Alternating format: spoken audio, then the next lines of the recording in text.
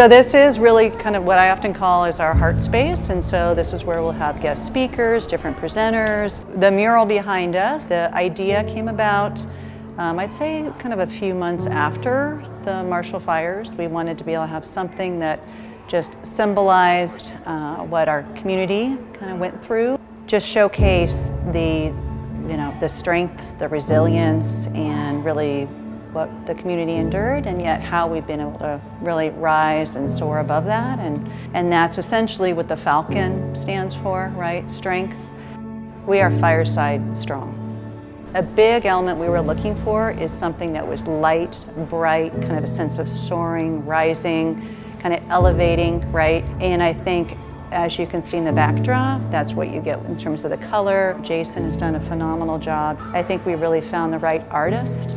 Jason, yes.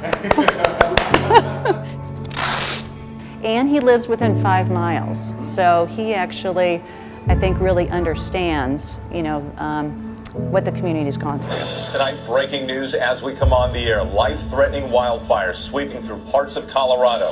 Late today, the governor declaring a state of emergency. We would never expect that to happen here on that level. When the fires happened, I was definitely wondering if it was going to reach our house. I saw it out on the horizon, you know. I have lots of friends and community affected by it as well.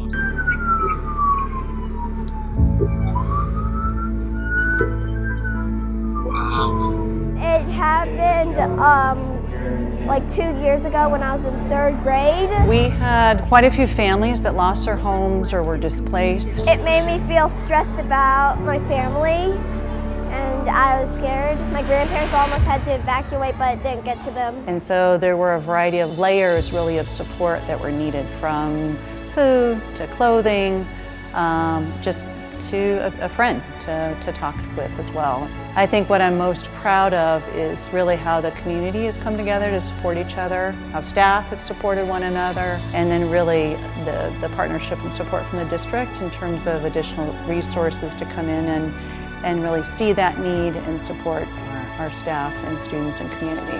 We are fireside strong. Right now, we're in a stage where there's rebuilding that's happening. We have families that are actually moving back into new homes. And so I finally feel like we're at a point in time right now where some families are starting to kind of rise above it all and there's some, you know, a sense of normalcy and that's not for all families, right? People are at different phases and stages with it, but um, especially when you, you know, drive the, the back roads in the neighborhood and you can see those homes, I think it really does give that just sense of hope and that, you know, we've been able to endure and, and rise above it. We're pulling together an assembly. We are really here to honor and recognize that incredible mural that is in our amphitheater. They'll think it's a masterpiece, I think. I mean, when I look at it, I get goosebumps. They'll think it resembles how strong we are. My hope, honestly, is that every time someone's in this space, there is this source of inspiration they get. I mean, I think just looking at that, you feel empowered. I think he did a really good job in it.